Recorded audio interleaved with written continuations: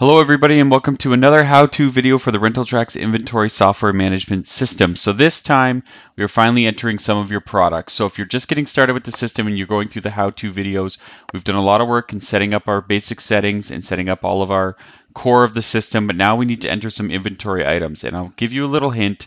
If you're just testing out the system and you're working on a free system, don't spend all of your time entering your entire inventory. What we want to do is enter a few products so that we can test the system out, see what it looks like, see how it feels, see if we it works well for our business model.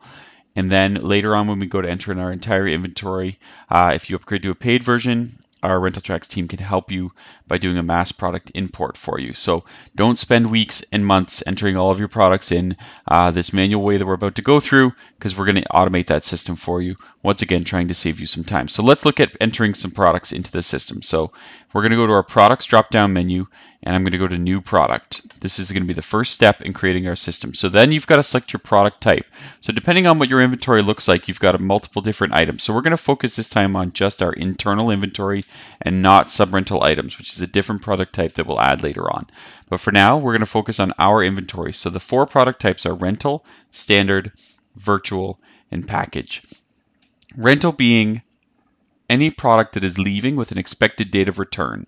So any product that is going to be rented out for a price that is coming back to your inventory at some point in time to replenish the stock. Standard is a sale item. So that is an item that is being sold out of your inventory for good. For instance, if you're an event decorator and you're using uh, candles, you are providing those candles to the event and they're going to burn and they're going to melt. So those are not going to be able to come back to your inventory.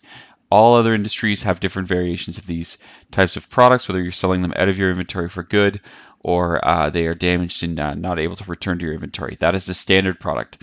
A virtual product is any non-physical product. So that can be any fees, setup fees, delivery charges, um, any of those different things, labor, man hours, etc. You're going to create as a virtual product.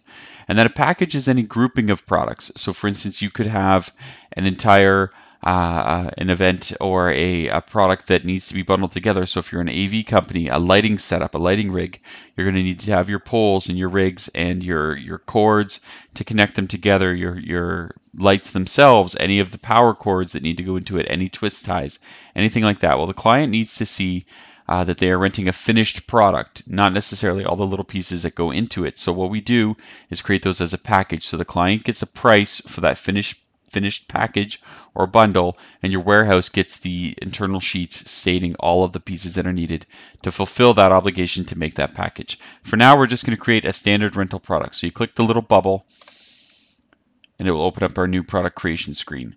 Once that's done, you're going to get a lot of information here. So uh, if you've been following along with the how-to videos, you've already created your tax classes in your category. So that's the first step. Now we're going to put in the rest of the information. So from our category dropdown, we're going to select the category that this is going to fall into. So for, for this purpose of this demo, we're going to create some new audio equipment. We're going to then select our tax class based on what we put into the system. So for this, uh, we will use uh, the Ontario tax class of HST at 13%. The number is automatically generated. It's a unique number used to identify the product within the system. So you can just leave that as an automatic generated number. It doesn't affect your inventory. It's mostly computer talk, so the system knows where to pull this item from. Then we've got to give it a name. This is not the name that the client is going to see. This is our own internal name. So we'll call this our test uh, electric drum kit. If you're using the barcode module, you can then click on this field and scan a uh, pre-existing barcode and it will enter the data information in here, making it so that that barcode is available as you go forward. If you're not using the barcode module, then you don't have to fill this out. The next area is the active, yes or no. So you can't ever permanently delete an item from your system. You can only make them inactive or active. Uh, the reason for that is if it, we allowed you to permanently delete them, it would affect any orders that these products were tied to later on in the reporting structure. So if the product is available in your system, you list it as yes as active. If it is not available, you click no. The price that we're going to set for this piece is a standard price for the product for one standard rental, whether that be for one day, one week, however you standard rent that product out, that's the price we're going to set. So I'm going to set this as a $100 rental. The factor group is something that you can get into later on if you provide a, a discount or a variation on pricing uh, based on the term of the rental. So uh, you can view the how-to video on how to set up your factor groups. Uh, but for now, we're going to leave this as no factor group on this. We just want to rent it out as a standard rental.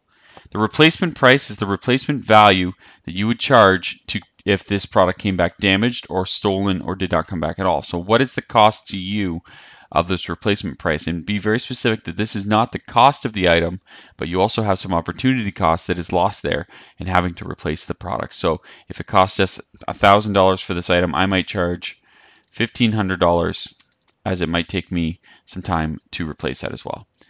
Then my number in stock is the, the number of products I have available, the number of this, the quantity of electric drum kits I have in my stock. I'll list that as five. And then my weight in kilograms, I will put this down as a 20 kilogram drum kit. Down at the bottom, we now get into our location. This is where you're going to be entering the location of the item. Now be specific in this because I've had a lot of warehouse clients say, that their their staff are setting it up and typing in that this is in the warehouse. Well, if you work in the warehouse, you know it's in the warehouse, but be more specific. So we're going to use short form. I'm going to say it's warehouse, section 5, aisle 2, black box. Perfect. Now my warehouse staff knows exactly where that is, and we can save them some time when they get their, their pick sheets and when they get their uh, item lists. When I enter in the order text, this is what's going to be in the product line of the order. So this is what the client is going to see. So I'm going to put that this is a roll-in uh, six-piece kit with pre-set sound. This is exactly what our clients are going to see when they when they purchase uh, the products from us, and it's going to be put into the product line. So make this as descriptive as like. You're going to have to get used to it and play with it. Once you get into printing off your paperwork, you're going to be able to see how that looks on the product line, and if it's too much information or less, you're going to kind of have to play with it a little bit. If you've set up your dealers and gone through that uh, preset design, you can pick them from a, or if you've gone through the how set video, how to video on dealers, you can pull them from a list of drop down uh, dealers